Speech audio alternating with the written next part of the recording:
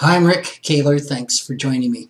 As I pointed out last week, research shows that most investors and investment advisors woefully underperform the markets. How woeful is woeful? Over the past 30 years, that meant leaving an average of $7,100 per year on the table for every $100,000 invested. For a 401k that grows to $1 million at retirement, this means 71,000 less in retirement income to spend every year. And that's a really big deal. The reason is when it comes to investing, our brains are wired for failure. And that includes the brains of investment advisors. You need a system that will make it difficult to give in to your brain's tendency to panic and sabotage your own investments. Research shows one system that works is to invest a specific percentage of your portfolio in several asset classes and then readjust by either selling gains or buying up losses. Uh, each asset class back to the original target allocation at least once a year.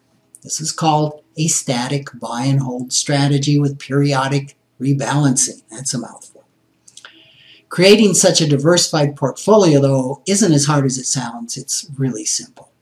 The hard part is to keep following the strategy during market ups and downs.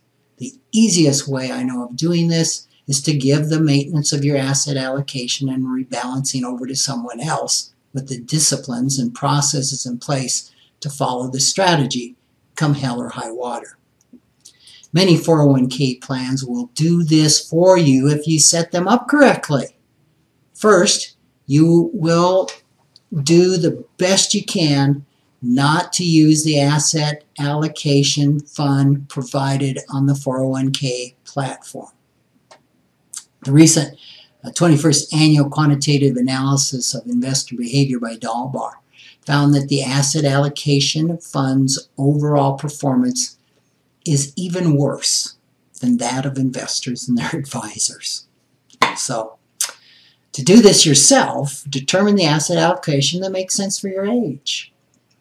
Uh, determine the, your income needs at retirement and risk tolerance. So, if you're in your 20s, this may be an allocation of, say, 90% in equity and alternative investments and 10% in bonds, 90 10. If you're in your 60s, this might be 60% in stocks and alternative investments and 40% in bonds. If you're retired with a low risk tolerance, plenty of pension income, and no apparent need to ever tap your portfolio, you might allocate 30% to equities and alternatives and 70% to bonds. Next, from the available mutual funds in your plan, select the funds in each asset class index that index their market that, have, that, are, that are passive, that are index funds, or that have the lowest expense ratio if you don't have index funds to, to select from. So for example, let's assume you're 55 years old and your employer's 401k plan has a global equity index fund, a real estate investment trust that's REIT index fund, and a commodity index fund, and a total bond market index fund. Most all these are available through Vanguard. Uh, Fidelity, I'm sure, has those. Uh, they may not have the commodity fund. Uh, but a possible allocation would then be 30% in the global equity, because that will buy you stocks all around the world, 15% in the real estate, 15% in the commodities. So if you add 30, 15 and 15 together, that's 60. And 40% in the total bond market fund, hence 60-40. Set your periodic contributions to go into these same funds at the same percentage. So if you're putting in a thousand a month, you're going to want 30% the global fund, 15% the REIT, 15% the commodity, 40% in the bond, the same allocation that you set up.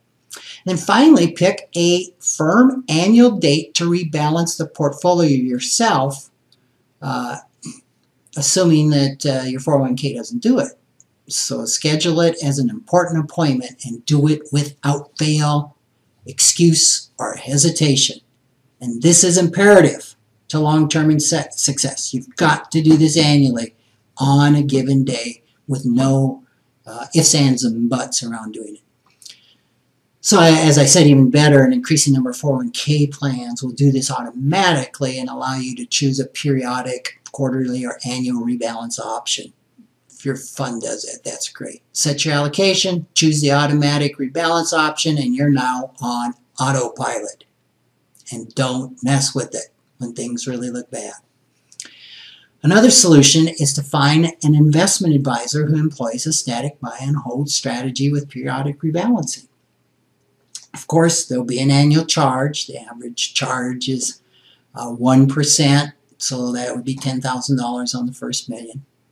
Uh, but compare that, sounds expensive, and it is, but compare that with earning an extra 71000 a year in income over 30 years. And it becomes a phenomenally good buy. Thanks for listening.